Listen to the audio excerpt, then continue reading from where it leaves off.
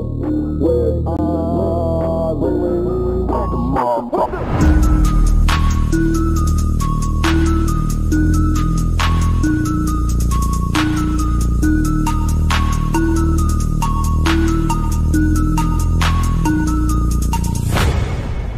is going on, everybody? Pete Simonetti here for the one, the only NYY News TV. Guys, we all know on October 11th, the New York Yankees will be playing in the American League Division Series.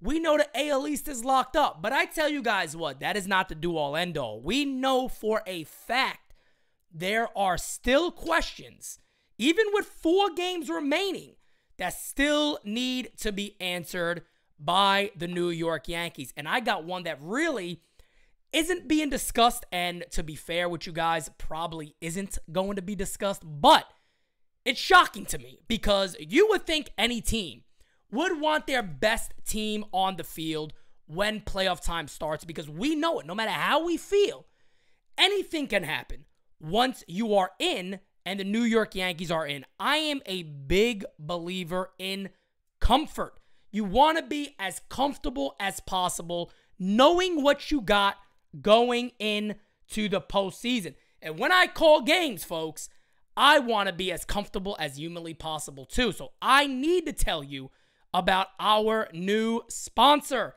Into the AM is a team of artists and creators who share a common vision. They see clothing as a canvas to express what drives you. Since 2012, Into the AM has developed premium apparel that elevates self expression and provides unparalleled comfort for wherever your passions take you. And I tell you guys what, this is handcrafted with care. This is legitimate stuff. So make sure go to intotheam.com, use discount coupon NYY News TV. The feel on these shirts are absolutely fantastic. I'm wearing one right now. I'm going to show you that. But you guys know I'm crazy, right? Look at the stuff I do during games. He struck him out. Hit in the. You, I, I got to have comfort. I got to have a shirt that breathes on me. I don't get too hot. I don't start flipping out and bugging out because I'm overheating. I need something great on my body when I am discussing the New York Yankees and calling games. I'm here sometimes four or five hours, so I gotta have a good quality shirt. And guys, look how it just fits the arms. Look at that. I mean, it fits beautiful. Who doesn't want a shirt that breathes? Who doesn't want a shirt that is comfortable? So, guys, do me a favor today. I'm not even, you know, you know me. You guys are you guys know me. Pete tells you the truth all the time. Real talk for the real fan is what we do.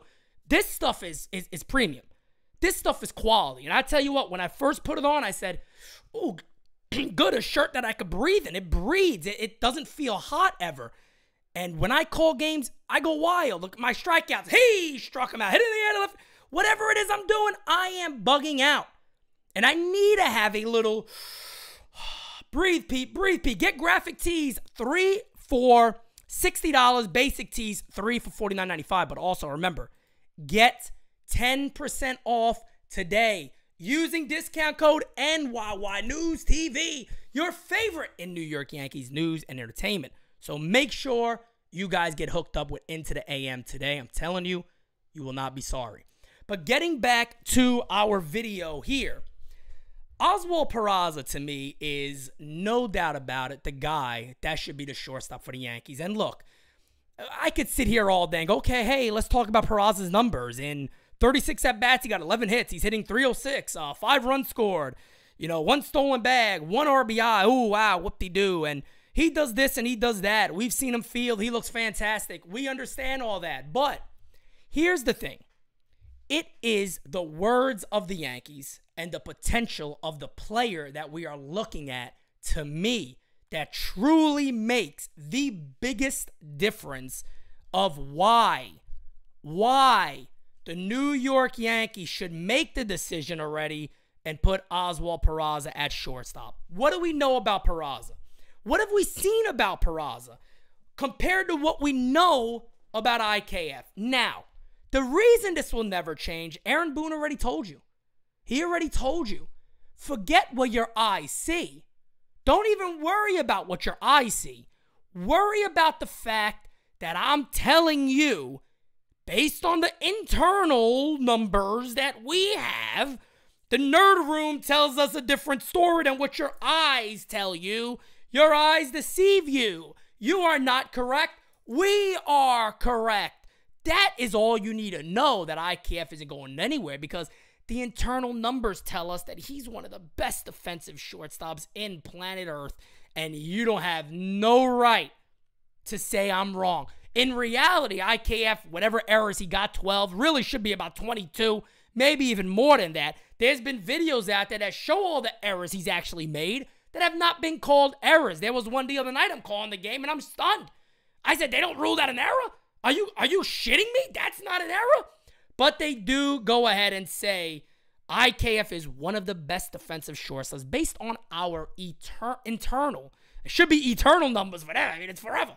Based on their internal numbers, IKF is the best. But we always heard about Oswald Peraza, this is coming out the mouth also of Brian Cashman.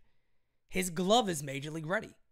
We're told by everybody, advanced scouts. I've told you guys about this. Eli Fishman has been on here and told you guys about this. Everywhere you read online, as I just smack something off my desk, has told you that no question about it, Oswald Peraza's glove is the best in the Yankees minor league system. Doesn't matter what position it is. He is the best defensive player that the New York Yankees have. Now, we've seen a lot of this at the major league level.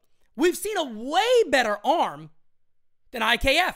We've seen the same amount of range, if not more, than IKF. The arm is, it's not even like you can say range. All right, maybe you got a topic of conversation there. Arm, it's not even close. It is not even comparable. They're not even on the same world when it comes to arm strength. And then bat, I think if you polled every Yankee fan, there's a lot of weirdos out there. I think, honestly, no joke, 90% of Yankee fans would tell you that Oswald Peraza is a by far a better hitter. We don't got to see him enough. What we've seen so far, he's a better hitter and much more impactful to the Yankees than IKF is. I want to bring something up real quick. I'm going to pull it up on my phone. I want to look at the Yankees lineup from, I think it might have been yesterday or the other night. Let me see the one where, matter of fact, let's just go back to yesterday and play around with this. Actually, yesterday might have had an ugly lineup. Let's see. We can mess around with it either way. Okay. All right, so who cares, right? Let's play around with this. Let's just say they got Judge Rizzo up top. We know that already. Let's look at the bottom seven. The bottom seven is typically something like this, right? It's either Bader, IKF, Trevino, IKF, Trevino, Hicks. It's usually something around that. Bader, Trevino, Hicks, Bader, Trevino, I, uh, IKF, whatever it might be.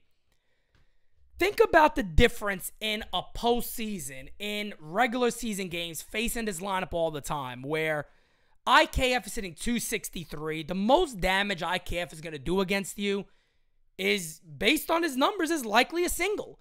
That is the worst he is going to do against you. Every now and then, he'll get an extra base hit. Home runs are extremely rare, doubles are rare, and a single is, yeah, 26% of the time he'll, he'll get a single.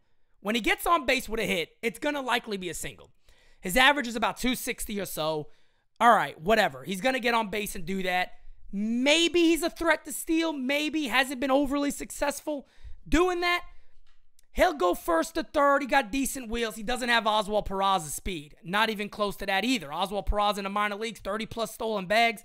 He's come up here, stolen the base already. You can see when he goes first to home, first to third. It's an easy thing for him. Fact of the matter is, you are simply looking at somebody who would impact the bottom of the order with everything the Yankees don't have right now. That is uh, uh, uh, more slugging percentage. He'll get on base likely at the same clip as IKF does. Considering IKF doesn't walk, I, I don't know how Peraza would not get on base at around the same clip. We know he's a better hitter. We know he's a better fielder. So the Yankees are preventing themselves from being a better club. On top of that, really disregarding their own words all offseason. Disregarding those words. What they told us, which was IKF is the stopgap shortstop until one of our guys are ready. They never said until Anthony Volpe's ready. They never said until Trey Sweeney's ready. They never said until Oswald Peraza is ready. They told us He is the stopgap until one of our young guys are ready. That was the reason we passed on Correa, Seager, Semien, all these other guys. Because IKF would hold a spot until one of the guys are ready. We already know what Oswald Peraza did in AAA. We know the slow start, and then he just tore it up. We know Anthony Volpe, slow start in AA, won something, tore it up, went to AAA, tore it up. Never seen the major leagues. We know that. He's not going to. But Oswald Peraza has. Now, you can place the blame on the reason why he was called up to many different things. You can sit there and say, Aaron Boone made himself like an ass multiple times in a row, and Twitter was a mess. Everybody was going at the Yankees. You had cats outside with signs saying, hey, hey, hey, call up Peraza. So at the end of the day, I don't know how much that influenced it, but I, I personally believe there's no doubt about it. It was a pressure campaign. My video came out, did extremely well. I think it was a pure pressure campaign by everybody collecting the same message and pushing it out there to Yankee fans. And I think the Yankees said, because Peraza played that same day, he homered, hey, hey, get him out the game, bring him up. Just bring him up, just bring him up, just bring him up. We'll get him in every now and then, just get him up, calm everybody down, and go from there. Fact of the matter is, the Yankees, if ALDS game one gets here, which it will, and IKF will be in the lineup, I'll tell you guys right now, I am not going to be Mr. Nice Guy come postseason. Not that I always am. I'm always real. I don't look to be mean. I don't look to be an asshole to anybody. But during the postseason, when the games are on the line and this is it, forget the regular season. That's accomplished. We won that. Postseason gets here. I am giving zero leeway to IKF making one of his bad mistakes because I have a gut feeling I'm scared. Anytime a big situation happens, a ball's hit the shortstop, you better believe I'm holding my breath big time with IKF. We've seen the type of errors he's made. We've seen that that's led to situations with Gerrit Cole. Doesn't matter who you put that blame on. It's happened to pitchers, and pitchers do react sometimes negatively. It, it hurts them, it affects them. Pitching is not easy. You need your defense, especially a guy who we were told, ah, he's the best defender in the world. Don't worry about it. He's the best defensive uh, uh, uh, defensive shortstop in the American League. You got nothing to worry about. IKF is the man. Believe us. Our internal numbers would tell you everything you need, but we've also been told how great our young crop of prospects are. Why we've passed up on guys because of them. Why we claim the Yankees being IKF was just a stopgap. That was all he was. He's just a stopgap until these guys are ready. Well, Peraza is sitting there saying, hey, when you guys play me, I'm batting over 330 uh, and, and 41 plate appearances. I got three doubles on my 11 hits. My on base percentage in, in 40 plus at bat and 40 plus appearances is 390. I've done everything I can at this level to show you that I should be in there. The Yankees refuse it. And I tell you guys this right now it would be absolutely horrifying if IKF hurts the Yankees in the postseason, and no Yankee fan should let it go because we were told one thing and something else is completely happening and it's not right and it's a stupid move on the part of the Yankees. I truly feel that Oswald Peraza should be the starting shortstop for the Yankees. No doubt about it. Now, do I go on to hope IKF is going to start, which he's going to? We know that. Do I hope he does fantastic? Yes. I hope he has a walk-off hit. I hope he does big. I hope he comes up clutch. He's been clutch this year. I give him that. I hope his defense is spectacular because let me tell you guys this right now. It would not be nice for the Yankees, for Aaron Boone, for all the PR out there to have to answer questions that you've seen this all year. Why did you leave IKF out there to do this? So, guys, with that being said, I am out. Make sure you go to Into the AM. So thankful they sent me these tees. They're amazing, guys. Look at they fit the arms. Come on. Fam, come on, fam. Look at they fit the arms. Look amazing over here. But I need something I can breathe in. So go to Into the AM, use a discount coupon, NYY News TV today. With that being said, guys, let me know in the comments below. What do you think about IKF and Peraza? Are you scared of IKF in the postseason and the damage he could potentially cause the Yankees. And do you think it's the right move to say, hey, you know what? We're going to go with Oswald Peraza. Like, I mean, we were basically told that a stopgap until our guys are ready. Guys ready. You ain't playing them. I don't know. I just hope for the Yankees' sake nothing bad happens in the postseason with Isiah Kiner Falefa, with their belief in him and continuing to move with him. When you've seen all year, I don't give a poot what your internal numbers show you. He ain't the best defensive shortstop in the American League. Stop it. Talk to you guys later. I'm out.